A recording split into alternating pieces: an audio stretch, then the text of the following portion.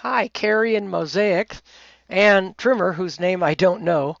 My name is Nancy Ash, and I'm going to try to help you look at this horse's feet in a new way so that she can get more comfort in her feet. The first thing I notice about this horse from this one picture, and of course it's only a picture, and it could have been that she was startled and had tensed up. But if this is a picture of a relaxed horse, the muscles in her body are being tensed. And I think they may be tensed because her feet hurt and that she's just making do. And that may mean that all four feet hurt. Uh, how do you tell a horse is lame if it's limping on all four feet? And I think she's hurting in all four of her feet. And that's because over time, her feet have become imbalanced. This is the dorsal aspect of the left front hoof.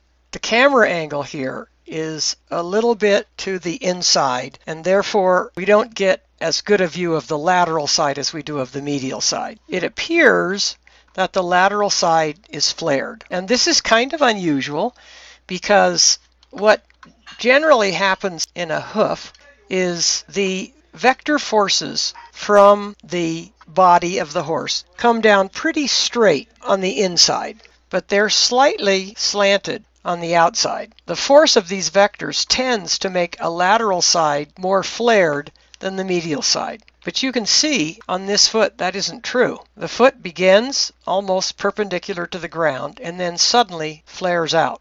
That's unusual. And that tells me that something is going on in the hoof, either the way the hoof is landing or some internal factor that is pushing this side of the wall outwards. And we're going to have to look and see when we turn the hoof over why this is happening. And we also might want to watch the horse walk to see if there's something about its gait that is causing something different than the normal forces on the hoof.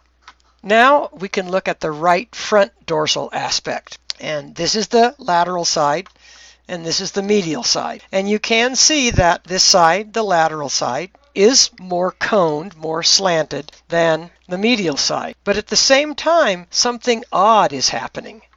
And I don't know, I think this spot right here is actually an optical illusion.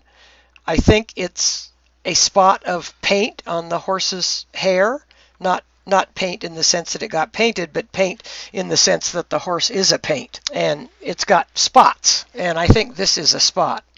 But what is bothersome is right here, and that is that there seems to be a bulge. And if you look at this picture and, and actually look at the hairline, it sort of appears that this hairline on the lateral side is a little lower than it is on the medial side. So I don't know what's going on there, but I do see that this is pretty slanted and most medial sides, as I said before, because of the vector factors that come straight down onto the hoof, this side tends to be straighter than that side. And on this hoof, you can see that both sides are equally slanted. Here we are again, and we're this time we get to see both feet together. It's kind of an odd picture. I think the left foot over here is probably turned inward, and therefore we don't have a really clear view of what the foot looks like. And I say that because I remember that the medial side of the left front was flared, and it looks to be straight up and down here. So I think the horse has turned its hoof inward. But on the right side, you can clearly see that that medial side is flared. And when we turn over that foot, I think what you'll see is that this side will be fuller than this side, and there will be a bar in there pushing the wall outward. So now let's go look at the back of the foot instead of the fronts. This is the caudal aspect of the right front foot.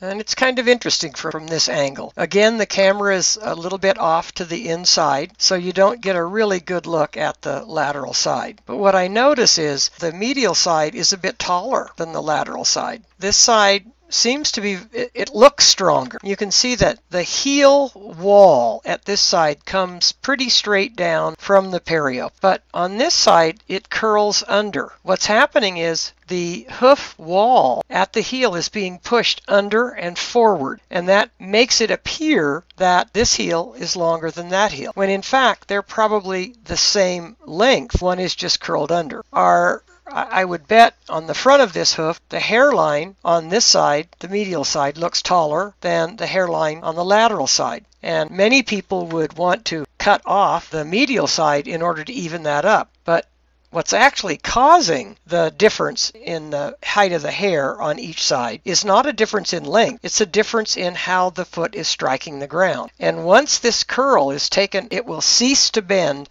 and it will actually come straight down and hit the ground like this. And the two sides will end up being pretty much at the same height. So remember that heels from this angle are deceptive and uh, even though this heel looks short, we'll find out in the next video that the heels are actually quite long. They're just in the wrong place.